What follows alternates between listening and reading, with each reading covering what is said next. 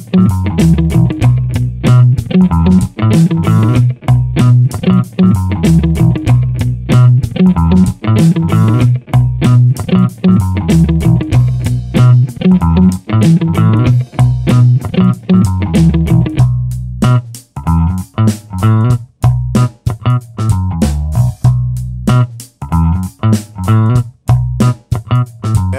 Chapman from uh, E Marine in Fort Lauderdale.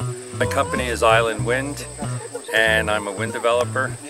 My name is Tim Blackwell. I'm president of One World Sustainable Energy Corporation.